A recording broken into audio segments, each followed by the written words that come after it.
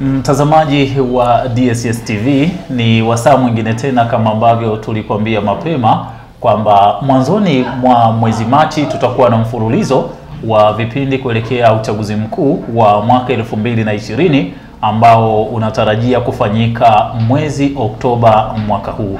Na kuelekea kwenye uchaguzi mkuu huu wa mwaka 2020 tumetoa fursa kwa viongozi ambao wanakwenda kumaliza muda wao wa utawala wa miaka mitano ambapo waliingia madarakani mwezi Oktoba mwaka elfu mbili na kumi na tano. Na sasa kwa kipindi hiki ambacho kimeandaliwa mahususi kwa ajili ya viongozi hao kuanzia ngazi ya madiwani, wabunge na vile vile tutatoa nafasi kwa viongozi wa vyama vya siasa kwa ngazi zote na kadri muda utakavyozidi kwenda, pia tutakuwa na nafasi ya kuzungumza na wale wasimamizi wa uchaguzi, kwa sababu uh, hawa ambao watapata nafasi ya kuzungumza mapema, wapo ambao e, wameshika dhamana nzima ya kuelekea kwenye uchaguzi mkuu wa mwaka elfu mbili na ishirini. Mimi naitwa Belshaza Mwabenga, lakini e, katika kipindi chetu cha kwanza kabisa cha mfululizo wa vipindi hivi e, tumepata fursa ya kuanza na diwani wa kata ya Mwakakati Ayubu Mlimba, ambaye pia inawezekana safari yake ya kisiasa ikawa e, imezungukwa ama ilizungukwa na visiki vya hapa na pale, milima na mabonde, lakini sasa yote kwa yote ni kuhakikisha kwamba jukumu la kuwatumikia wananchi linatimilika ipasavyo. Karibu e, kwa siku ya leo. Uh, kwa sababu pia ya kile kinachoendelea tulazimika kutumia sababu ya ishara ili kufikisha ujumbe. Karibu sana. Asante sana, asante sana. Na na- natumaini pia kwa watu walio wengi yawezekana wakawa wanaomfahamu Ayubu Mlimba kwamba ndio ni diwani wa Mwakakati, lakini kisiasa hasa eh, Ayubu Mlimba ni nani, kaanzia wapi eh, kwenye hizi changamoto za kisiasa mpaka hapa alipo tunapozungumza naye leo kwenye kipindi cha Safari ya Oktoba. Karibu. Asante sana. Kama mtangazaji alivyokwenda kunitambulisha, jina langu naitwa Aibu Mlimba, ndiye diwani wa kata ya Mwakakati ndani ya halmashauri ya mji wa Tunduma. Nafikiri swala la kisiasa katika maisha yangu, naweza nikasema siasa ni kitu cha ndani mm, ambacho naweza nikasema kwamba labda nimezaliwa nacho. Ndio. Kwa hiyo sasa, unapo unapokuwa umeshazaliwa unaanza maisha, unakuja kukutana sana zile siasa za moja kwa moja, kwa maana kwamba kujiunga katika chama hiki au namna gani, hiyo mm. inatokana na utakapokuwa umeshapata uelewa. Nafikiri kujiunga, kuwepo kwangu ndani ya vyama vya siasa nilianzia ndani ya Chama cha Mapinduzi. Nilikuwa mwanachama wa Chama cha Mapinduzi toka muda mrefu sana Ndio. toka niseme toka kuzaliwa kwangu mm. lakini pia baadaye nikaja nikaondoka huko mm. nikaenda ndani ya Chadema, Ndio. lakini kulikuwa na mambo fulani ambayo inawezekana sikuweza kupendezwa nao kwa mara ya kwanza, Ndiyo. lakini baadaye alipokuja mzee wetu huyu John Joseph Pombe Magufuli, baada ya kuona kazi ambazo anazifanya, nikasema hapana, huku nikoenda nimekosea, nyumbani ndo kuzuri kweli kweli, kwa maana kwamba ili kuweza kulijenga taifa lazima tuwe na umoja wa Chama cha Mapinduzi, mm -hmm. si chama kingine tena. Eh, hiyo ni kwa ufupi kwamba manake ile imetoka moyoni kuhusiana na kuipenda siasa. E, labda kabla ya kuhama kutoka Chama cha Mapinduzi na kwenda Chama cha Demokrasia na Maendeleo Chadema na baadaye kurejea tena katika Chama cha Mapinduzi, wakati huo labda kuna nyadhifa zozote ambazo umewahi kuzishika ndani ya Chama cha Mapinduzi kabla ya kuhama na kwenda Chadema? Ni, ni ndio. Nilipokuwa niko nyumbani huko nilikuwa kiongozi wa vijana ndani ya Chama cha Mapinduzi. Ndio. Nakumbuka miaka hiyo tumewahi kwenda eneo moja linaitwa Ikuo huko kwenda kujenga gereza ambalo lilikuwa linajengwa kwa nguvu ya umoja wa vijana wa mm. Chama cha Mapinduzi, na mimi nimewahi kuhudhuria huko, nimewahi kwenda huko. mm. Kwa maana sasa nilikuwa kama kiongozi, nilikuwa katibu wa ule msafara ambao tulikuwa tumekwenda huko. Kwa yule ambaye hajui anaweza akasema "Ah, nyumbani wapi tena? Ah, ukizungumzia ukizungumzia nyumbani kwa maana mm. kwamba huko kwetu Wanji ni wilaya ya Makete, Ndio. mkoa wa Iringa, mm. tarafa ya Matamba, Ndio. natokea kijiji cha cha Mbela. Sawa, karibu. Asante sana. Mm. Nafikiri hali ya siasa ndani ya ya kwangu ndani ya mji wa Tunduma e, haikuwa na, na, na, na, na, na zi, ile mshikeli mkubwa sana, lakini mshkeli mkubwa ulijitokeza pale nilipohamia kutoka CCM kutoka Chadema kwenda ndani ya Chama cha Mapinduzi. Nafikiri mtangazaji utakuwa unajua mm. watu wote wanajua haya mambo yalikuwa wazi kabisa. Wale wenzangu baada ya kuona sasa kuna kuna kuna kuna sintofahamu kubwa baadaye wakaja waka, waka, wakafanya mambo amba- ambayo sio mazuri, walinichomea nyumba yangu na mambo mengine pia. Sawa, huko baadaye nadhani tutapata mwanga mm. e, wa kujua kiundani zaidi mm. na, lakini tu, tu, turudi hapa uh, kabla ya kuondoka ndani ya Chama cha Mapinduzi mm. kulikuwa na nini hasa kilichokufanya ukahama ambacho e, pia baadaye kiliporejea kikakurudisha tena? Kulikuwa na udhaifu gani wakati huo kwenye Eh, Chama cha Mapinduzi? E, nafikiri jambo hili li, li- li- limeshaanza kuzungumzwa sana mm. na, na, na Watanzania walio wengi tulio wengi Ndiyo. na ni Watanzania wengi sana tulihama kutoka ndani ya Chama cha Mapinduzi kwenda huko ambako tulienda. mm. Nafikiri nia ilikuwa ni, ni, tulikuwa ni wazalendo kuona kwamba tunahitaji chama, tunahitaji kiongozi ambaye anafika wakati anatuongoza ipasavyo e, katika misingi ambayo taifa hatulipeleki katika nafasi za rushwa eh, tunapeleka katika hali ya uwajibikaji kwa Watanzania wote na matokeo hayo yaonekane chanya kwa Watanzania. Sasa pale tulipoona kidogo upande mwingine ni kama hauchukui hizo hatua tuka tuka tuka tuka tukafika na ile hali sasa kusema labda tuende tukatafute hali fulani ya mabadiliko haya ya kisiasa na pia ya kiuchumi ndani ya taifa letu sehemu nyingine, lakini sasa inawezekana tulienda haraka. Madhara yake sasa tumeenda huko, mwisho tunarudi nyumbani baada ya kuona kumbe tuko kwenda huko tumekosea zaidi. Sawa, mwanya wa kueleza wazi mapungufu yaliyokuwa yakionekana kwenye serikali mm -hmm. E, wakati huo, unataka kuniambia kwamba ulikuwa ni finyu sana ukilinganisha na sasa kwa mwanachama wa Chama cha Mapinduzi kuikosoa serikali iliyopo madarakani, au watu waliokuwepo kwenye chama walikuwa sio rahisi kufikika na kuwafikishia kero zilizopo kwa jamii? kufikika kunaweza kulikuwa kwamba kupo na kupeleka hoja ya kwako ilikuwa inapokelewa kiurahisi, lakini mwisho wa kwenda kupokelewa hoja hiyo, ni matumaini yangu hatua zichukuliwe. Sasa pale tulipokuwa tunaona kwamba hatua hazichukuliwi, ndipo hapo sasa naweza nikasema kwamba hatua zilianzia hapo. Sawa. Uh, um, huo, hiyo ni changamoto iliyoonekana kwenye Chama cha Mapinduzi eh, kabla ya kuondoka na ukaamua kwenda Chama cha Demokrasia na Maendeleo Chadema. Wao walikuwa na uimara upi ambao waliutumia ile mianya ya udhaifu ya Chama cha Mapinduzi eh, mpaka mkashawishika eh, kwenda kujiunga na Chama cha Demokrasia na Maendeleo Chadema? Unajua siasa ni ni ni ni ni, ni, ni, ni, ni namba eh? Na siasa na mwanasiasa daima anapofanya siasa anataka apate kitu fulani ambacho na yeye sasa kiweze kumpa faida fulani kisiasa. Kwa maana hiyo sasa, miongoni mwa vitu ambavyo Chadema walikuja navyo ni, ni, ni, ni ile lugha ya mabadiliko. Ehe. Na sisi kama Watanzania tulikuwa tunahitaji nini? Mabadiliko. Kwa wakafika wakati sasa wakaamua yani, tukaamua ku, ku, ku, kuona kwamba hawa wako sahihi, lakini sasa mwisho wa siku tulipofika kwenye uhalisia ndani ya Chadema sasa tunakuta kumbe mabadiliko ambayo yanazungumzwa ni ya nadharia, lakini kwenye vitendo hamna.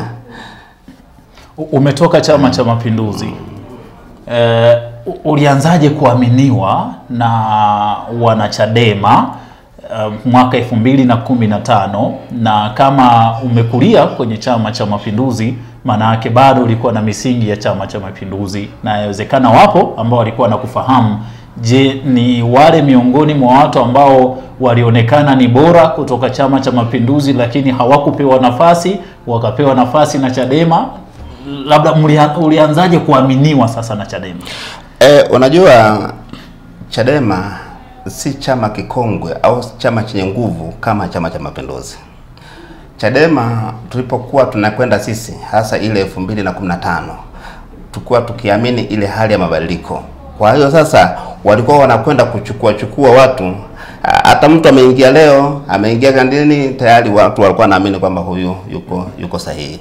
Lakini sasa mimi kama mimi imani yangu kwamba niko niko sahihi na kutokana na, na, na, na, na wana CCM wana Chadema sote ni Watanzania, tunaishi pamoja, kwa maana kwamba tulikuwa tunafanya nini, tunajuana pale. Kile kitendo cha kujuana sasa, mwisho wake sasa e, ile hali ya mabadiliko, kwa sababu chama bado hakijakuwa na misingi ile mikubwa, kwa hali sasa wanajua Mlimba yuko hivi, Mabenga yuko hivi, fulani yuko hivi, madhara yake wanamchagua kutokana na jinsi wanavyoweza kumwona. Sasa tutue e, kwa siasa za mji wa Tunduma mm -hmm. na pia wilaya ya Momba ambazo siasa za mji wa Tunduma ndizo zilizompambanua Ayubu Mlimba kwamba ni mtu wa aina gani kwenye siasa. Uh, ukiachana na kule Matamba ambako ulikuwa kwenye umoja wa vijana na sasa huku ambako unakutana na siasa za mji wa Tunduma. Eh, Kabla ya uchaguzi mkuu wa mwaka 2015 kulikuwa na dhana iliyokuwa imejengeka kwamba wanasiasa wa mji wa Tunduma na Momba ni wanasiasa fulani wa korofi korofi hivi.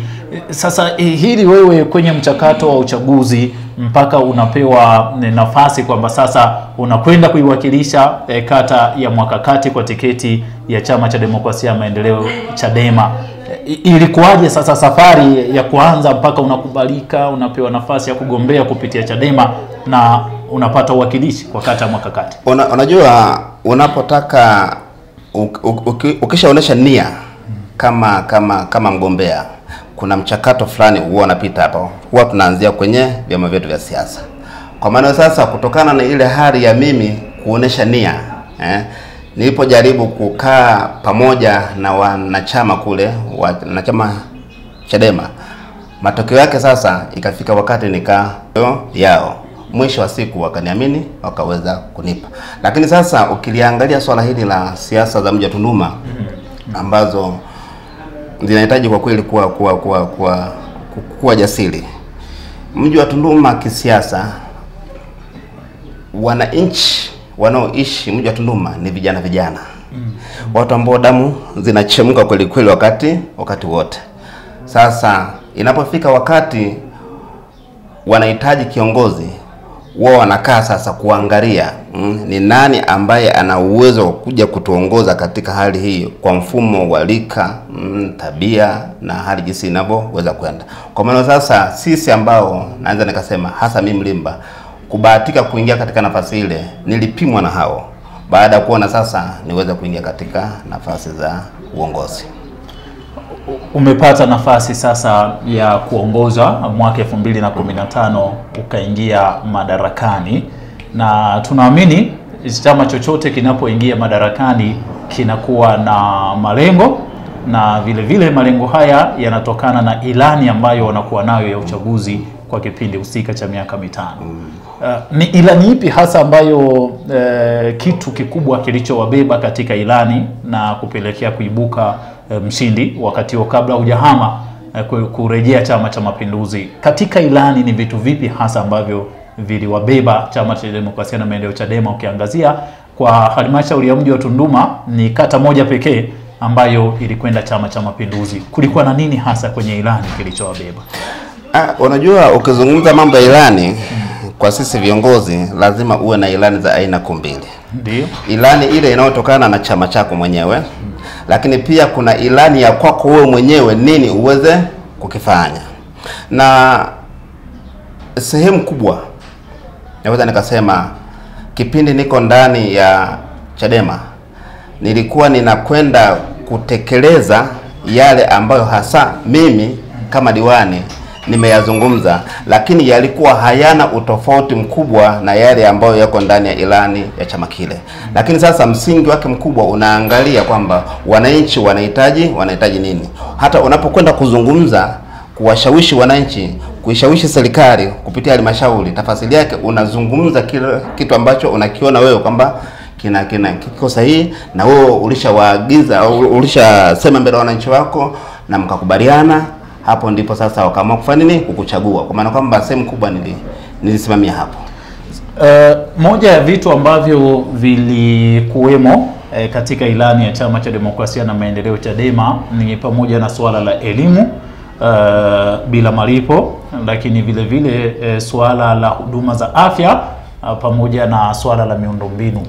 Hii ilikupa ugumu upi uh, wa kwenda kutekeleza uh, ilani ya chama ambacho eh, kimekupa ushindi ukilinganisha na kwamba ilani ambayo inatekelezwa kitaifa mara zote ni ya chama tawala ambacho kimeshika dola. Ulipata ugumu gani kuanza kutekeleza yale ambayo unaona yako kwenye ilani yako na ilani ya chama kilichokuweka madarakani? Unajua, ndio maana nimezungumza kwa mara ya kwanza. Iko hivi, hivi vyama vya siasa vinakuwa na ilani, lakini sasa mwisho wa siku, baada ya boksi la kula kuamua kumpata mbunge, kumpata rais, kumpata diwani, huwa kunajitokeza na hali fulani ya kwamba ilani ambayo imetokana na chama cha siasa inakuwa ni ngumu sana kuweza kuitekeleza kutokana sasa kwamba ndani ya chama hicho sawa kimeshindwa kwenye uchaguzi, halafu kwenye serikali kuna chama kingine.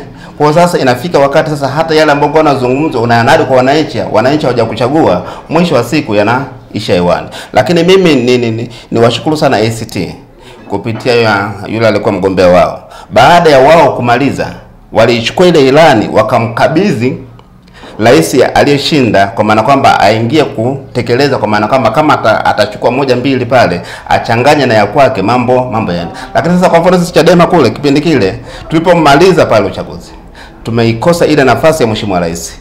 Matokeo yake sasa ile ilani sasa ikabaki kuwa hewani, ikabaki kuwa hewani. Mwisho wa siku hata kwamba ufike wakati huu uweze kuisimamia na kuitekeleza inakawa ni shida, kwa maana kwamba, ndio maana nimesema hivi, kiongozi lazima awe na ilani mbili, ilani inayotokana na chama chako, lakini pia ilani ile ambayo inatokana na wewe mwenyewe, nini unataka ufanye nini ndani ya taifa, ndani ya kata yako, ndani ya jimbo lako na ndani ya nchi yako. Kwa kipindi hiki eh, toka umeingia madarakani mwaka 2015 jitihada zako kwenye swala hili la elimu? Ni kweli kabisa, tatizo hilo, changamoto hiyo ndani ya kata Makati ipo na kubwa, na ni changamoto ambayo niliilisi kama diwani. E, nilipokuwa ninaingia pale nili, niliona na kumbuka, hata kwenye majukwaa ya kisiasa nilikuwa nikizungumza sana kwamba miongoni mwa ajenda kubwa ambazo nakwenda kuzisimamia ni juu ya elimu, kwa maana kwamba angalau sasa tuwe na shule zaidi ya moja au mbili, twende tukapunguze idadi ya wingi wa watoto katika chumba kimoja. Na jambo hili namshukuru sana Mungu, ndani ya kipindi cha miaka mitano ambayo nimefanya, nafikiri ndani ya shule ile mama ni, ni, ni, nimeongeza madarasa mawili yenye vyumba sita kwa kushirikiana kwa kushirikiana na wananchi pamoja na halmashauri, lakini pia ni, ni, ni, tukaanzisha eh, nikawahamasisha wananchi, tukakaa vizuri, tukaanzia shule nyingine ya msingi inaitwa Tanganyika, nayo mpaka sasa hivi ina majengo kama matatu, ambao sasa pale tayari tumeshapata vyumba vingine vya madarasa kama tisa tayari viko pale, lakini pia tuna shule, nikaenda mbele zaidi tuna shule ya sekondari. Baada sasa kufikiria kwamba unakuwa na shule za msingi, lakini sasa je, baada ya mtoto kufanya mtihani wa darasa saba aende wapi? Tukakaa na wananchi pale, nikapeleka hili halmashauri likakubalika na wananchi waka, tukaanza nguvu kazi, kwa maana kwamba tukaanzisha shule ya sekondari inayoitwa shule ya sekondari ya mwaka kati, ambayo mpaka sasa hivi ina kidato cha ina kidato cha tatu imefikia kiwango kwa na kidato cha tatu. Kwa maana hiyo sasa ni shule ambayo ni nzuri na ninawapongeza sana vijana wangu wale kwa mtihani wa form 2. Nafikiri wamefika wakati wameongoza ndani ya shule za halmashauri ya mji Tunduma, wilaya ya Momba, lakini pia katika mkoa bila shaka ilikuwa ni ya pili. Kwa hali sasa na najivunia hayo kwa maana kwamba niliyasema, nimeyatekeleza kushirikiana na mimi na wananchi wangu na halmashauri yangu tumefanikiwa kwa.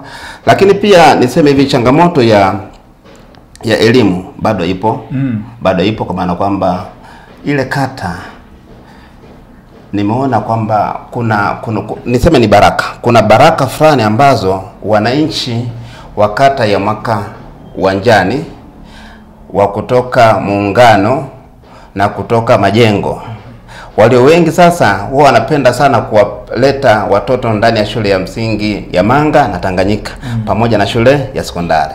Kwa sasa jambo hili sasa bado linazidi kuwa kuwa kuwa ni tete ndani ya, ya kata ile ndani ya shule zile, kwa maana kwamba watoto bado kuna mrundikano mkubwa, na nafikiri linafanyika hili kutokana na jiografia ya jinsi ilivyo ndani ya kata hizi ndani ya kata hizi tatu, kwa maana kwamba kata ya Uwanjani, Muungano na Majengo. Hii shule ni rahisi kufikika mm, kufikika kwa maana kwamba sasa wazazi wanaona afadhali wampeleke mtoto pale ili aweze kupata. Lakini sasa hiyo ni changamoto ambayo bila shaka mara nyingi hata kwenye madiwani nimezungumza tumezungumza na mkurugenzi kwa maana kwamba tuhakikishe sasa kuhamasisha wananchi wetu kwa maana kwamba wao wanawapeleka kwenye shule ambazo ziko ndani ya kata zao husika ili angalau kuweza kupunguza ile hali fulani ya msongamano wa watoto madarasani. Uh, umewahi kukaririwa eh, kuna wakati ukizungumza kwamba kuna kila sababu ya wananchi wa mji wa Tunduma na kata zake kubadilika eh, kuacha kuingiza siasa kwenye masuala ya msingi ikiwemo swala la elimu. Kwa kipindi hiki ambacho umekaa madarakani, hili lina athiri vipi maendeleo hususan sekta ya elimu? E, siasa ni nzuri sana. Siasa ukiziendea vibaya ni bomu moja baya sana ndani ya taifa, lakini pia hata katika swala la msingi mkubwa wa elimu katika idara la elimu. Kwa sasa nilizungumza maneno hayo, ni kweli kabisa, nakumbuka nilikuwa nimefikiri mbali sana, na hili lilitokana na kwamba tunapokwenda kuwahamasisha wananchi wetu kwa maana kwamba tufike wakati tujenge madarasa. Anatokea mwanasiasa mwingine anakuambia CCM walisema elimu bure, msiende kujenga madarasa.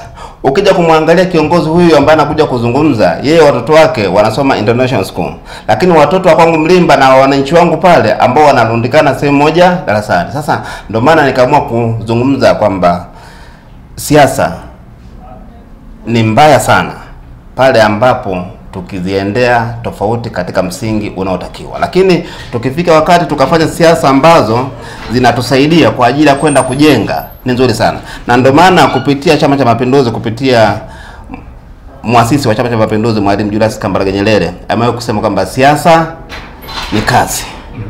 Kwa maana kwamba sasa tukifika wakati tukaamini hilo kwamba siasa tuzifanye siasa, lakini tuamini kwamba ni sehemu ya kwenda kutupa ma, manufaa mazuri kikazi katika taifa letu, ni, ni, ni, ni, ni jambo ni jambo zuri.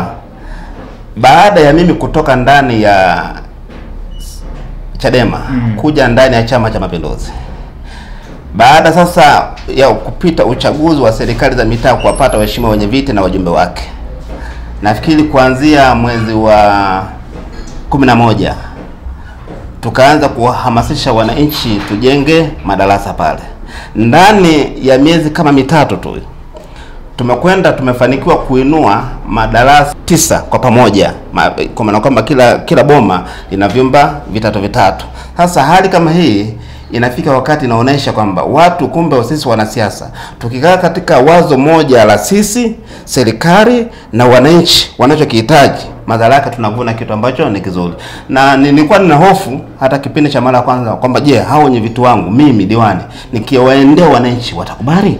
Lakini asante Mungu, kumbe wananchi wanauelewa mkubwa kweli kweli kwamba hii ni changamoto yetu sisi sote. Tulipoenda kuelimisha juu ya jambo hilo wakatupokea, na ndio maana ndani ya miezi mitatu vyumba karibu tisa, yaani maboma matatu yameshainuliwa mpaka sasa hivi yameshaanza kutumika. Sekta ya maji, mji wa Tunduma, hili ni tatizo, na nadhani wakati unaingia kwenye e, madaraka mwaka elfu mbili na kumi na tano ni kati ya kitu ambacho mliwaahidi ahadi nono wananchi wa mji wa Tunduma na vitongoji vyake kwamba wawape ridhaa kuanzia ngazi ya mbunge, diwani na rais ili mtekeleze e, swala la sekta ya maji, lakini baadaye uh, mkafanikiwa kupata kwenye nafasi ya ubunge na udiwani.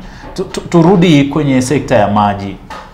Kabla ya e, kuhama chama changamoto ilikuwaje, na baada ya kuhama chama kuna utofauti wowote wa swala la maji, upatikanaji wake kwenye kata ya Mwakakati?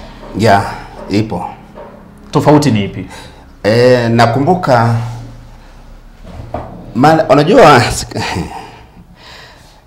unapokuwa diwani, diwani nafasi yake kubwa ni mwakilishi wa wananchi kwenda halmashauri.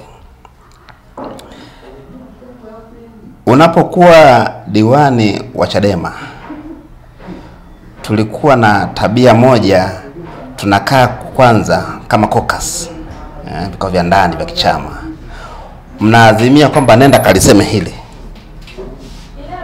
Usipoenda kulisema lile ambalo wamesema ukaliseme, wakiona umesema tofauti, jioni unaitwa. Kwa nini umesema hivi? Kwa maana kwamba sasa kulikuwa na mapatano mengine ambayo tulikuwa ndani ya Chadema tunaamini kwamba hili patano liko sahihi, lakini kumbe unakuta serikali inaenda mashariki, sisi tunaenda magharibi. Mwisho wa siku mnashindwa kufikia kwenye lengo linalotakiwa. Sasa basi, nilipokuja ndani ya Chama cha Mapinduzi, ndio na kwenye kuna vikao vya kokasi, tukawa tunakaa tunajadiliana, mnafuata msingi wa nini wa ilani, kwamba ilani inasema moja, mbili, tatu. Nikwambie mtangazaji, ni kwamba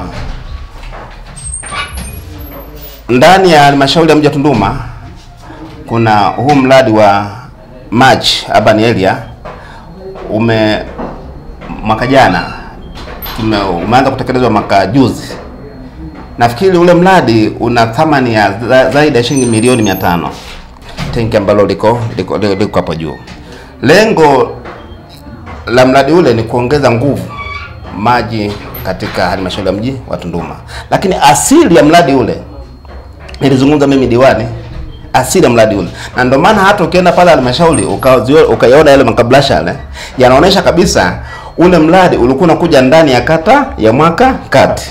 Lakini sasa mwisho wa siku mimi ni Mtanzania, kwa maana kwamba siwezi kudili moja kwa moja na mwakakati peke yake. Mimi ni kiongozi wa watu wote, na ndio maana hata waliponiita wasema, hapana, hiki kitu lazima ili, tenki likae hapa, kwa maana kwamba itanufaisha kwako na kwa yule na kwa yule. Nikasema huo ndio Utanzania, na maana hiyo sasa hali ya maji ndani ya kata yangu ya Makakati mpaka sasa nina mitaa minne pale. Ndani ya mtaa wa Makakati wenyewe watu wananufaika na maji, mtaa wa Melelani wananufaika na maji, ukija mtaa wa ghorofani wananufaika na maji, lakini sasa kuna mtaa mmoja ambao unanisumbua kidogo, mtaa wa Songa Mbele ambao sasa inaonekana ile mitani budget ya serikali imekuwa imekuwa haba kidogo, kiasi kwamba tunahitaji angalau tuongezewe budget kwenye mradi ule ili tuweze kunini kuku, kuku, ku, ku, ku, kupata mabomba ili mtandao wa maji uweze kuwafikia kuwafikia wananchi wetu, kwa maana kwamba niamini kwamba toka ninatoka ndani ya Chadema kuja ndani ya Chama cha Mapinduzi, kwa kipindi nilichokaa ndani ya Chama cha Mapinduzi nimezipata faida kubwa kutokana sasa na maelekezo na miongozo ya ilani ya Chama cha Mapinduzi. Asante. E, tukiachana na suala la sekta ya maji ambalo tunaamini kwamba kadri watu wanavyozidi kuongezeka ndivyo uhitaji nao unavyoongezeka. Hmm. Kati ya changamoto ambayo e, ilikuwepo katika mji wa Tunduma e, kwa miaka ya nyuma ni pamoja na suala la miundombinu ya mitaa ikiwemo barabara, na tulishuhudia maazimio kadhaa ambayo yalitolewa kwamba ni lazima uh, wananchi wakubali kuacha sehemu ya maeneo yao ya ardhi ili kuruhusu barabara za mitaa kupita na kufanya mji kuwa rahisi kupitika. Hili uh, baadhi yenu ninyi uh, mliokuwa kwenye baraza la madiwani mliona kama wananchi wanaonewa. Uh, hii dhana hasa ilitokana na nini? Mtu anaambiwa bomoa hatua tatu kwako, mwingine abomoe hatua nne kwake ili kuruhusu e, kupita kwa mitaa. Hili lilikuwa na changamoto gani na, mafani, na faida mnaionaje kwa sasa baada ya zoezi hilo kufanyika? Uh, nafikiri mimi ni miongoni mwa madiwani ambaye ni- nilipokea vizuri, lakini nikachukua hatua na pia nika nika nika tuka tuka tukapata barabara za mitaa kule baadhi ya maeneo. Hili una, unajua hata kama mtu ni mbaya wako lazima unaweza ukashukuru baadhi ya mama, baadhi ya maeneo aliyofanya vizuri. Katika hili wakati tuko ndani ya Chadema, bila shaka naweza nikasema kwamba tulifanya tulifanya vizuri sana, maana mji wa Tunduma jinsi ulivyokaa haujakaa katika hali ya mpangilio, na hasa ukiziangalia hizi kata za Makakati, sijui Muungano, sijui Uwanjani na zingine. Kwa kweli kata zile zilikuwa zinahitaji sana kwamba tuwaelimishe wananchi wetu, kwa maana kwamba angalau uweze kupisha kama ulivyo ulivyosema. Lakini mimi nichukue nafasi hii kuwashukuru sana sana sana wananchi. Baada hili sasa, tulipokwenda kuelimisha, walielewa na wengine wakapisha, na wale ambao walisita kuweza kupisha, nafikiri panahitaji sasa tuzidi kufanya nini, kuelimisha, kwa sababu barabara bado zina zina zina, zina maslahi ndani ya ndani ya ya maisha yao wao wenyewe wananchi wetu. Na ukija hata ndani ya Chama cha Mapinduzi, jambo hili si baya kwao e, si baya kwetu, ni zuri kwa maana kwamba lengo tunahitaji kama serikali kama chama kuweza kufikisha huduma kwa nani, kwa wananchi, ila inakuwaga mbaya pale ambapo yani unakwenda kupeleka kupitisha barabara katikati ya nyumba ya mwenzako alafu anakosa hata mahali pa kwenda kuishi. Sasa hiyo ndo mbaya, na ndo maana tulipokuwa kama madiwani kipindi kile tulijaribu kuwaomba wananchi wetu, kwa maana kwamba kila mtu aachie hatua mbili tatu, hatua mbili tatu, kwa maana kwamba kama ni sehemu fulani itoka, kwa maana kwamba tuchangiane ili barabara iweze kupita. Na ndo maana unaweza kukuta barabara zile sawa, kuna upande mwingine zimepiga kona hata mahali ambapo sio pa kupigia kona. Lengo ni kuepusha madhara makubwa ambayo yangejitokeza tungeamua kunyosha moja kwa moja, kwa maana kwamba unaweza kukuta unailenga nyumba moja, alafu mwananchi anakosa mahali mahali pa kuishi. Faida yake imekuwaje kwa sasa, ukiangalia faida kwa ujumla? na amini ya kwamba faida ni nzuri sana, na zile barabara tulivyozitengeneza nafikiri zikawa zime, zime, zime, zimepata usajili e, ndani ya kipindi kile nafikiri ilikuwa ni, ni, ni upande wa halmashauri yenyewe, lakini mpaka sasa hivi kwa wenzetu TARURA tukawa tumeshazipata namba, kwa maana kwamba sasa hata majina kwa maana sasa wenzetu wa TARURA ndo wana wanalishughulikia na barabara zinatumika. Kwa hiyo faida mojawapo sasa wananchi wanafurahia sasa mpango ule ambao ni mzuri kwa kweli, barabara zile zina zina zinapitika. Eh, tu- tu- Tumalizie na hili eh, kwa kipindi hiki eh, kabla ya kutazama sasa matarajio endapo ukipata fursa ama ridhaa ya kurejea tena eh, kuwaongoza wananchi wa Mwakakati, ni kuhusiana na swala zima la sekta ya afya. Halmashauri ya mji wa Tunduma tunaifahamu ilivyo, ilikuwa e, na kituo cha afya, lakini pia hospitali ilikuwa ni, ni changamoto, na tunaamini kwamba nguvu zenu e, kama madiwani ndizo zilizochangia leo tunaona ujenzi wa hospitali ya wilaya.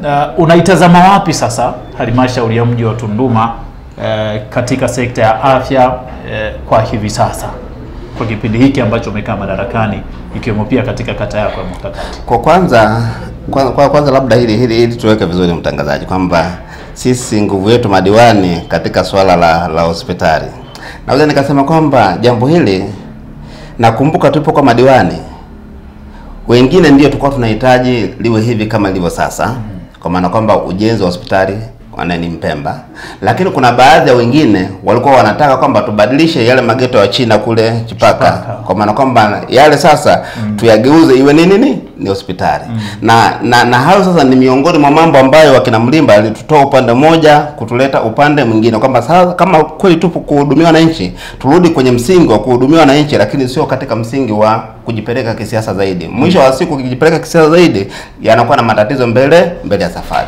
Lakini sasa nishukuru sana serikali sana, hasa kupitia mkuu wa wilaya Mheshimiwa Ilando. E, nakumbuka kipindi kile mkurugenzi alikuwa ni Msigala. E, nishukuru sana sana serikali kwa kutupa hospitali ndani ya, ya, ya mji wa Tunduma ambayo inajengwa sasa hivi pale Mpemba. Nafikiri hata zile spidi za kwenda Vwawa za kwenda swilu Mbeya zinaweza zika zika zikapungua, lakini pia kituo chetu cha afya Tunduma ambacho naweza nikasema kwamba kilikuwa kimeshaanza kuzidiwa kutokana na population kubwa ya wananchi ndani ya kata ndani ya mji wa Tunduma, kwa maana kwamba, lakini sasa pamoja na hapo, serikali ikaangalia mbali zaidi, ikaongeza huduma zake zinazotakiwa mahali pale eh, kwa maana kwamba ikapanua huduma ambazo zinatakiwa pale, kwa maana kwamba hata hivi ipo pale, lakini pia ma, ma- ma, nani mabweni nani, nani mawodi yakawa yamejengwa pale, kwa maana kwamba sasa hali halisi ya kituo chetu cha afya kikawa kimeongezewa nguvu. Serikali na- na sana, lakini sasa mpango mzima ambao tunao kama madiwani,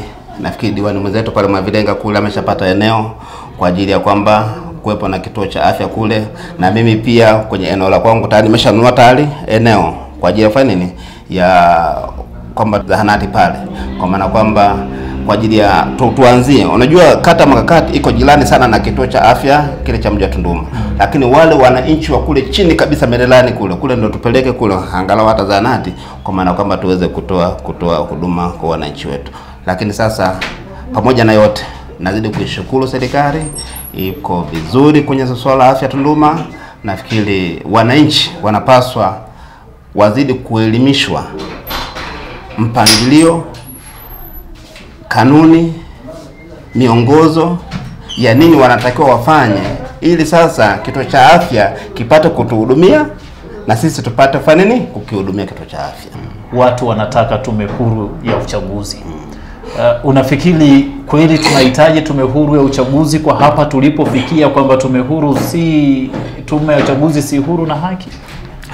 Unajua mtangazaji, ni hivi, walio wengi wa chama kile wanazungumza hivi, lakini mimi Mlimba siamini vile wanavyozungumza kwamba wako sahihi. Unajua watumishi wa tume ya uchaguzi ni watumishi wanaopaswa kufuata maadili ya utumishi wa umma.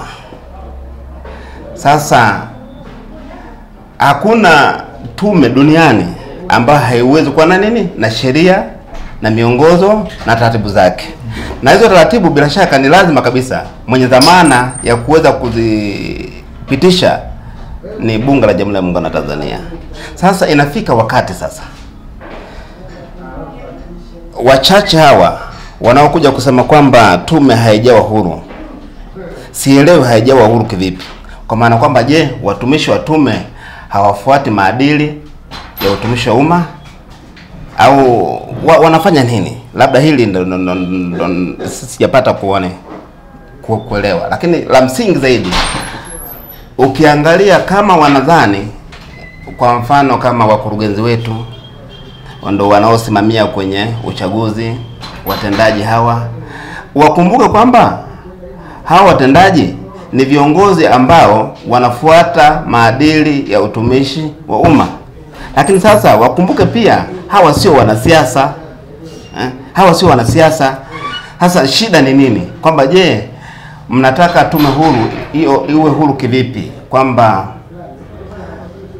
hata mishahara ijilipe yenyewe, kwa maana kwamba iwe ni serikali ya pili, kwa maana kwamba itafute pesa ijilipe yenyewe, kwa maana kwamba isiguswe kabisa, ni kitu ambacho hakiwezekani. Hata kama wana wazo kama hilo, mwisho wa siku mwajiri mkuu ni mmoja tu ambaye ni rais. Mwisho wa siku ndio mwenye serikali atatafuta pesa, atapeleka bungeni, atapeleka mahakamani, atapeleka serikalini, kwenye tume ya uchaguzi, kote huko. Kwa sasa wanataka tume huru ipi? Eh? Sasa ni kwamba mikutano ya hadhara ifanyike, ila ifanyike katika eneo lako la utawala kuliko kwenda eneo lingine ambalo si la utawala. Hii unafikiri imeathiri hali ya kisiasa kwa kipindi cha miaka mitano na linaweza likaathiri kuelekea uchaguzi mkuu? Hapana, ni hivi, kwa maana kwamba kipindi kile ambacho diwani alikuwa natoka kata yangu kwenda kata nyingine kilikuwa ni kipindi cha kampeni. Bila shaka sidhani kama kwenye swala la kampeni wanaweza wakazuia hivyo. Tulilokwenda kusikia serikali ikizungumza, tukiombana, mm. kwa maana kwamba tufike wakati mm.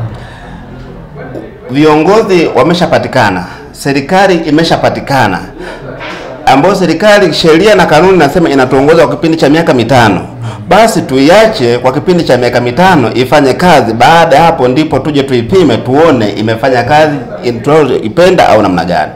Sasa tukifika wakati mtangazaji, kwamba uchaguzi umekwisha, halafu tuendelee na mikutano ya kisiasa mimi nitoke hapa sasa hivi nikafanya siasa kwa Mheshimiwa Kayombo kata ya Uwanjani, nitoke hapa niende Mpemba kwa Bwana Nzunda kwenda kufanya siasa. Madhara yake ni nini? Kwamba kile ambacho nakwenda kukizungumza mimi kitakuwa kina faida ya kimaendeleo au nataka niende nikazungumze tu uongo kuwaaminisha wananchi, mwisho wa siku hata wale wananchi wakashindwa hata kufanya shughuli za maendeleo.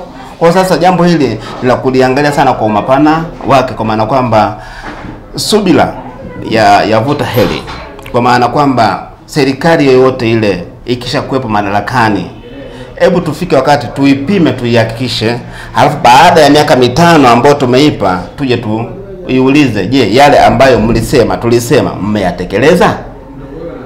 Nafikiri tukienda hivyo tutakuwa tumekwenda vizuri zaidi. Mikutano ya hadhara ni sehemu mojawapo ya baadhi ya wanasiasa kujijenga kisiasa. Je, unahisi kwamba wapo ambao wamepotea kisiasa kuto kufanya siasa za kuondoka, kwa sababu ilikuwa ikishuhudiwa eh, pia eh, kabla ya mwaka 2015 E, yawezekana wabunge wa majimbo matatu wakawa kwenye jimbo la mtu mmoja, ili mradi tu ni wa chama kimoja na wakafanya siasa. Nafikiri wapo ambao wameathirika kisiasa kutokana na hilo. Mm. Unajua iko hivi mtangazaji, kuna mwingine anapenda tu kuongeaongea kila wakati bila hata kujua kile ambacho anakifanya kina madhara gani. Unajua, kuna mwingine anaamini kwamba anapokuwa mwanasiasa yeye yeye tu ni kuongea tu kuongea tu. Hapana, jambo hili lina utaratibu wake, na nimshukuru sana Mheshimiwa John Joseph Magufuli na serikali yake kwamba yeye kwanza hajakataza hajakataza mikutano, lakini ametoa mwongozo ya mikutano ifanyikeje. Sio ifika wakati kila wakati tuwe watu wa mikutano mikutano tu, aje leo Chadema atoe mkani ato ato ahutubie mkutano wa hadhara, nije CCM nifanye hivyo, aje ACT hivyo hivyo hivyo, na huku ndani utakuta kuna viongozi wao, diwani, sijui mwenyekiti, sijui na kila mtu anakuwa na mkutano wao. yani inafika wakati na kila mtu hapo ana uchochezi wake kisiasa, na ujue kwamba sisi wanasiasa kwamba lengo letu kubwa ni kupata serikali kwa maana kwamba ili niweze kumuondoa yule aliyepo kwenye serikali lazima nimchonganishe na nani? Na wananchi, kwa sababu mtaji wangu mimi ni nani? Ni mwananchi. Kwa hiyo sasa haya mambo huwa yanakuwa hivyo, kwa maana kwamba tukienda katika hali ya utulivu kwamba mimi ni diwani kupitia Chama cha Mapinduzi ndani ya kata ya Mwakati, sijazuiliwa siasa, nazifanya siasa, hamna shida aina yote, lakini wale viongozi wetu wa vyama vya siasa, mwongozo ukasema watafute ukumbi wajikusanye hapo, wafanye siasa zao ndani, waelezane hapo, mambo yaende. Baada ya hapo sasa, uwanja ukifunguliwa, si watawafikia wananchi, wataeleza, halina shida aina yote. Nafikiri mimi naamini ya kwamba limekaa vizuri na, na, na, na ili kuweza kulijenga taifa letu, na tusipoangalia kama tutaruhusu siasa kila wakati, kila muda, mwisho wa siku unaweza ukajikuta Tanzania tunaipeleka inakuwa kama Libya. Tu- tunakwenda kwenye uchaguzi mkuu. Kipindi cha miaka mitano kinaenda kukamilika eh, kwa kwako wewe ukiwa kama diwani wa kata ya Mwakakati. Eh, unadhani bado wananchi wa Mwakakati waendelee kuwaamini kutekeleza eh, yale ambayo bado hujayafanya, na kama bado ambao hujayafanya, unahisi ni katika nyanja zipi ambazo ni lazima uh, wananchi wa Mwakakati waendelee kukupa nafasi ili kuwatimizia kile unachokiona bado? Kwa kwanza kwanza wananchi wale mimi nawapenda. Eh, hilo jambo la kwanza. Jambo la pili, wananchi wale naamini kuwa wananipenda. eh, Lakini pia eh, yale ambayo nilikuwa nimezungumza nime- nime- elfu mbili na kumi na tano naweza nikasema asilimia mia moja nimeyatekeleza. Sasa unapokwenda kutekeleza kitu ambacho umekiahidi hapo ni kipimo kingine sasa hapo, lakini kile ambacho nikasema nikasema lazima tuwe na shule, lazima tuwe na machi, lazima tuwe na hiki yote yamefanya nini? Yametekelezwa, na haya ndiyo nilikuwa nimeyasema, naamini kwamba asilimia mia moja nimeyatekeleza. Sasa kama wananchi wanaamini kwamba kiongozi ni sehemu ya, ya, ya, ya mtu kushirikiana na wao na serikali kuleta maendeleo, tafasiri yake wao watanipima mimi kutokana na kile ambacho nimekifanya. Nafikiri imani yangu ina- inanijenga hapo kwamba wananchi wa Makakati wananipenda, ndio maana na mimi nasema nawapenda, lakini kwamba itakuwaje kwa mimi, naweza nikasema labda tuko mwishoni, lakini mapema mno, bado sijashauriana niseme na halmashauri yangu ya kichwa, sio halmashauri ya- ya kichwa, kwa maana kwamba niweke vizuri mambo Eh. ili angalau sasa niweze kusema kwamba je, nitarudi au sitaweza kurudi. Na ukumbuke mtangazaji kwamba sisi viongozi wa kisiasa ndani ya nchi yetu kuna mchakato ambao mimi naweza nikaonesha nia, lakini kwanza unapimwa na chama changu chama chako unapimwa nacho. Baada hapo sasa ndo unakwenda kupimwa na wananchi wako, lakini sasa naweza kuamini kwamba wananchi wa kata wananipenda. Ikimpendeza Mungu, basi lile ambalo litakuwa ni la heri, basi nitawaomba kwamba tushirikiane. Wakati ukisubiri mchakato wa chama kukubaliana na wewe ama kukupitisha kugombea, uh, una kipi cha kuwaambia wale ambao wanapita pita sasa? Hawa hawakwepeki, na huu ni mwezi Machi, wapo wale wanaopita pita, labda una kipi cha kuwaambia eh, kwa sasa? Ah, mimi nafikiri mimi, mimi ni diwani bado nina kipindi sio cha miezi mitatu wa, wa, wavute subira wavuta subira kwanza waamini kwamba mimi Mlimba ninawapenda. Mimi napenda kwamba tuingie kwenye mchakato ambao sasa ninahitaji mwenzangu na yeye aseme na mimi niseme wananchi wakae waweze kupima. Lakini pia ndani ya chama wanachama wangu waweze kupima. Kwa sasa wa, wafuate misingi ya sheria na, na na kanuni na miongozo jinsi ilivyo ya chama. Waruhusiwi kufanya kufanya kufanya siasa kama miongozo inavyotuambia, kwa maana kwamba hawaruhusiwi kupita pita huko, watulie kwanza. E, wakishatulia baadaye Mlimba nitakuwepo pale na wao watakuwepo pale. Imani yangu kwamba kila mmoja atapata fursa ambayo ni nzuri zaidi, lakini wasije wasije wakafikiri waka, waka, labda mm, siwapendi. Mimi ninawapenda, ila sasa wafuate misingi ya sheria na kanuni, na mimi niko tayari kuweza kugombea na pamoja. Wewe ni miongoni mwa wanasiasa ambao wamepata niseme athari na madhara ya ambayo yanatokana na masuala ya kisiasa.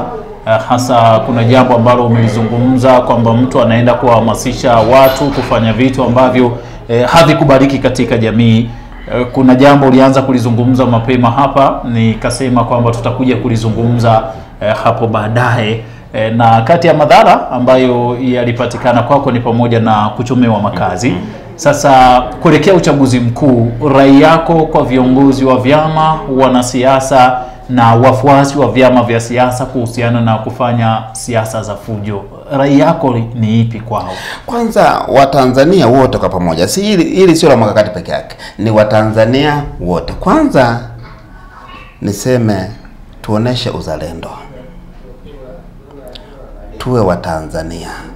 Watanzania sote ni ndugu, sote ni wamoja, kwa maana kwamba vyama vya siasa hivi visiweke gepu la kututenganisha kati ya mimi na huyu na yule, bali viwe ni nguzo ya kutuunganisha katika hali ya umoja, umoja wetu.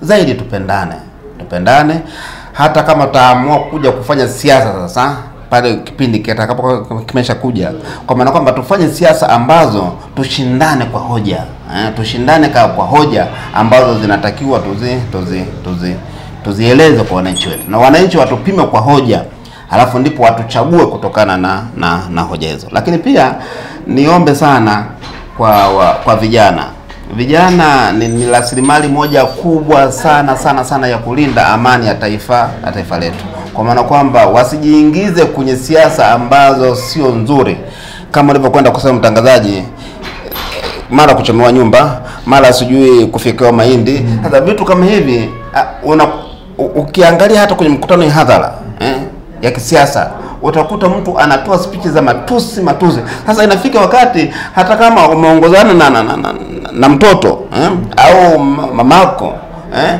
unakwenda kusikiliza mkutano U, yani unapata unapata yani kitu ambacho sio kizuri. Mwisho wa siku una, unakata na tamaa. Tufike wakati sisi wanasiasa tu- tu- tutumie lugha nzuri ambazo zinatujenga kwenda kuzungumza habari za kile kitu ambacho kimetuambia tuwa, twende pale, lakini sasa tusifike wakati kuwa na mihemko ambayo haina haina msingi wowote. Lakini pia niombe sana jeshi la polisi, jeshi la polisi e, kipindi kama hiki na na- namshukuru sana kamanda wa jeshi la polisi taifa, kila siku analizungumzia hili kwamba wamejipanga, wamejipanga. E, imani yangu kwamba waendelee kujipanga zaidi, sio kuwatesha wananchi, kuwapenda, kuwaelekeza, ili sasa waingie katika msingi mzuri wa kwamba tulinde taifa letu, amani yetu, tufanye siasa. Siasa ni za kwetu si wenyewe, tufanye siasa fair ili tuweze kufikia katika lengo linalo linalotakiwa. Kwa hiyo sasa mimi niombe, lakini pia hata viongozi wetu wa dini wafike wakati wazungumze hilo. Eh, Siasa zimetukuta, kwanza taifa, kwanza kwanza uhai wa mtu. Mwisho taifa ambalo tumebarikiwa na Mungu wetu tulipende, lakini siasa iwe ni daraja la kutupeleka katika misingi mizuri nayo inayotakiwa. Na kwa kumalizia uh, mazungumzo yetu, una uonaje uchaguzi mkuu wa mwaka elfu mbili na ishirini ambako uh, kwa mwaka elfu mbili na kumi na tano ilishuhudiwa aliyekuwa mgombea wa chama cha demokrasia na maendeleo Chadema Edward Lowassa akahama na kurudi chama cha mapinduzi. Je, e, mshindani ama ushindani ambao anaweza akaupata rais aliyepo madarakani kulingana na ambavyo tumezoea e, kwenye chama cha mapinduzi, unapoanza miaka mitano unapewa ridhaa pia ya kwenda kumalizia mingine mitano mm. kuomba ridhaa kwa wananchi. Unaonaje ushindani kuelekea uchaguzi wa mwaka elfu mbili na ishirini midhania ukilinganisha na mwaka elfu mbili na kumi na tano? Uchaguzi huu kama alivyosema Mheshimiwa Rais tutakuwa na uchaguzi uhuru na wa haki, na mimi naamini hivyo, utakuwa uhuru na wa haki. Lakini sio siri kwenye uchaguzi huu kwamba Chama cha Mapinduzi kitaibuka na asilimia kubwa kubwa kubwa ya ushindi. Kwa nini nasema hivyo? Kitaibuka na asilimia kubwa. Kwanza ukiangalia aina ya siasa ambazo Chama cha Mapinduzi inafanya, lakini pia ukija kuangalia ndani ya taifa hili